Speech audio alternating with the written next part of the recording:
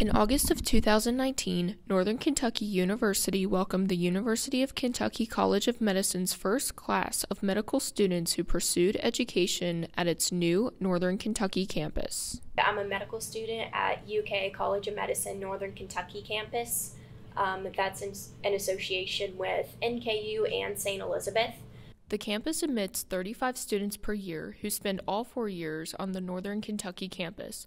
I think one of the advantages to going to medical school here versus Lexington would be that we have a smaller class size. So all of the students get to be a little bit closer and know everybody. And additionally, we get to know our faculty and our mentors better too. I think one of the biggest changes I've seen at NKU is a new new health innovation center.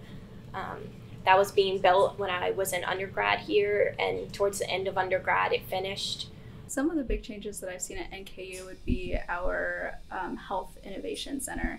And there they have a simulation center. They also have, um, that's also where a lot of their nursing students train. So, um, as medical students, we also get to use the simulation center too.